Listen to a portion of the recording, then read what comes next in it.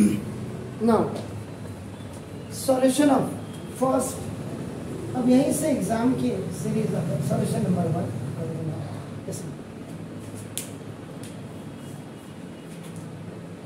let f tends to r to a real number and g tends to r to r, ठीक है? D to function such that such that का मतलब ही, आपका given है। Given आपको दिया हुआ है दैट इज़ फॉर्म ऑफ़ आपका x इज़ इक्वल टू आपका नाम this sine x square and g of of x is equal to आपको साइन स्क्वायर एक्स दिया।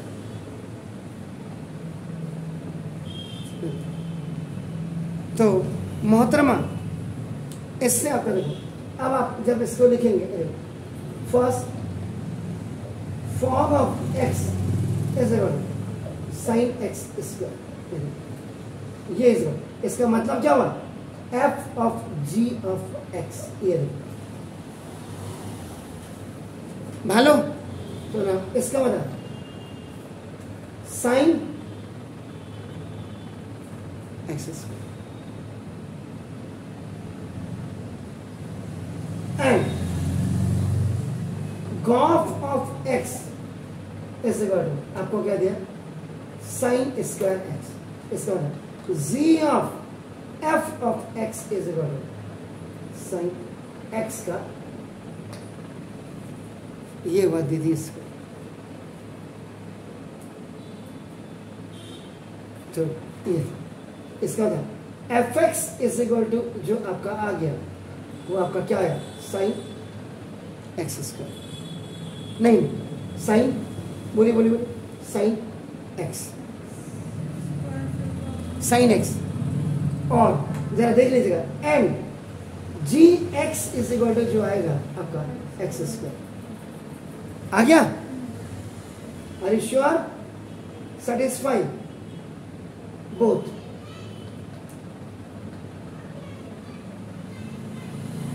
ठीक हो गया जी? क्लियर है? कि कोई दिक्कत है बताइए। वन वन टू कर दिया? आप इसको पूरा, इसको दिया है, इसको गिवन में। वन कर दिया सर बोथ दोनों का आपका कर ठीक है? एफ़ एक्स की वैल्यू क्या होगी? साइन एक्स और जी एक्स की वैल्यू क्या होगी? एक तो ये आंसर इसका आ गया, जो आपका एफ़ एक्स करना है। अब आप उल्टा करके फॉग निकाल लो, इससे गॉप निकाल लो। क्या यही आता है? ये अभी आप चेक कर लीजिए। ठीक है जी? अब सॉल्यूशन नंबर चलो, पहले आप तो इसको कर लीजिए। सॉल्यूशन सॉल्यूशन नंबर टू तब करते हैं। Quickly now in solution number two आपका देखिए ना।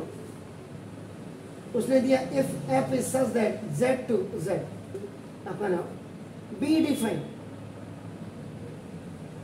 be defined by main आपका देखो एफ़ एक्स इज़ इक्वल आपका देखो टू एक्स ये आपका देखो ये गिवन दिया for all x belongs to z z का मतलब क्या होता है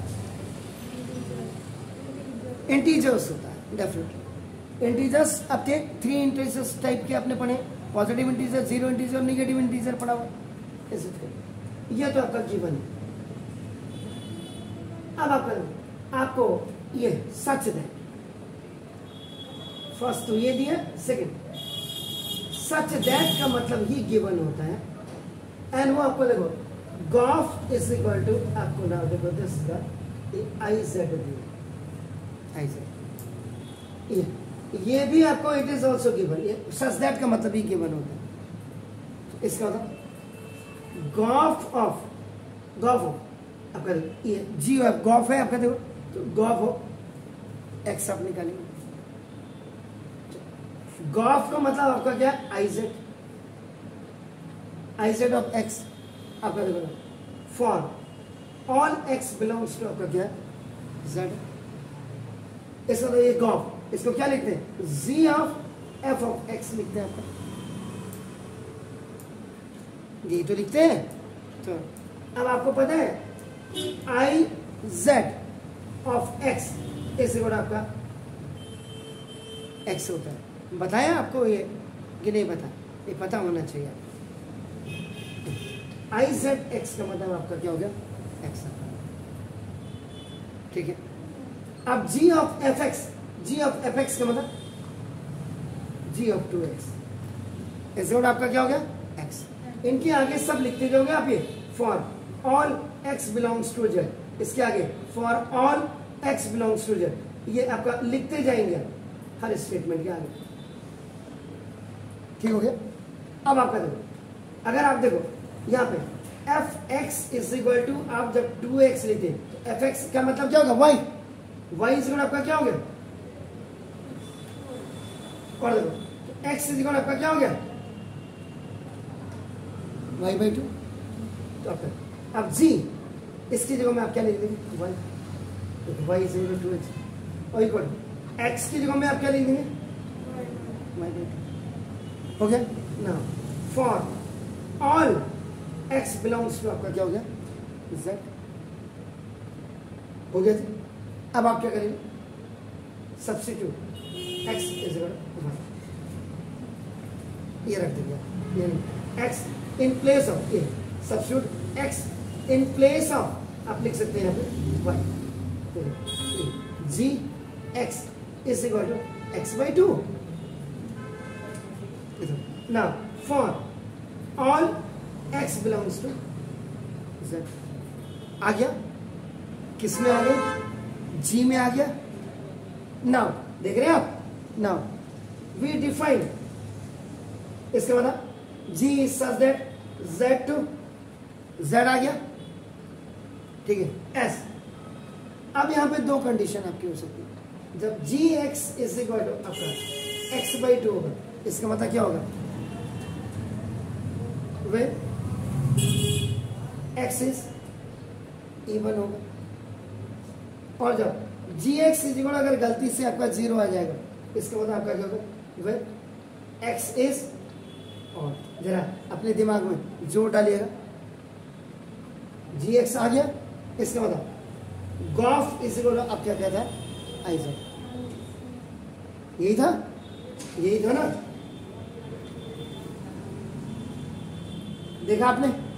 एसेट के लिए? अब आप दिमाग लगाइए, करते भी चाहिए। देखिए एफ़ एक्स से देखो आप कहाँ पहुँच गए। आपने एफ़ एक्स की वैल्यू कैसे रखी? कुछ थोड़ा था गॉफ जेड में आपका देखो तो जी ऑफ़ एक्स निकालना था। जी ऑफ़ एक्स की जगह में आपका देखो जी ऑफ़ एफ़ एक्स हो गया इस एफ़ एक्स की जगह में आपने टू एक्स रख दिया। वाई इज़ आपका हमेशा एफ़ एक्स होता है आपका नाम in place of f x you आपका वाई तो y इज़ इक्वल देखो, y बाई टू हो गया, क्योंकि आपका टू एक्स इज़ इक्वल जब, ए वाई है तो x is equal y by two आपको। उससे आप डिफाइन करने पे आप आगे, कि is such that z to z वहाँ से जब आप आए तो g x is equal x by two दो वैल्यूज़ में, एक बार जब इवन होगा, और एक आपका ऑड होगा, तब जाके गॉफ, इसका मतलब आई जेड बिल्कुल परफेक्ट था। डू इट प्लीज़ आप देखो देखो, मैं अभी आपका इसको, मैंने पहली लाइन तो टाइप कर दी है। Let f is such that z belongs to z, आपका b defined and fx is equal आपका देखो। तो आपको ये दिया है, देखो गॉफ। ठीक है? तो गॉफ इज़ इक्वल आपका देखो i z दिया हुआ है। ये आपका देखो ये गिवन ठीक हो गया जी? इसका बता गॉफ ऑफ़ आपका x इज़ इक्वल आपका क्या रखेंगे आप? I z x इसका बता z of f of x ये लिखेंगे ऐसे लिखेंगे इसको। ऐसे करो। क्योंकि आई आपका मैंने कहीं पे लिखा था आई जेड एक्स इज़ आपका वैल्यू जो होती है एक्स एक्स और जी ऑफ़ एफ़ एक्स की वैल्यू आपके नाम से ठीक होगा यहाँ से हमने जो मिस्टेक की है मिस्टेक नहीं की है मतलब ऐसा नहीं कि मिस्टेक की है। ये यहाँ पे आपका नाम आपको लिखना चाहिए। का, इसने नहीं लिखा नहीं तो लिख दीजिए। फॉर ऑल फॉर ऑल जी। नाउ आपका फॉर ऑल ना for all x belongs to हो गया जी।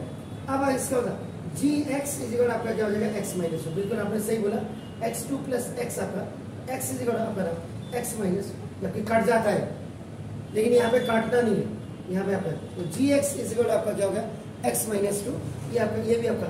For all x belongs to जब जी एक्स आपके पास आ जाएगा तो हेंस आपका ठीक है ना? Hence the required function g is such that uh, sorry g is such that z to z आपका हो जाएगा आपका देखो is given by gx is equal to आपका x minus टू ये लिखेंगे आपका नाम देखो दिस और लास्ट में आपका for all x belongs to z this is your answer ठीक है जी तो ये तो आपका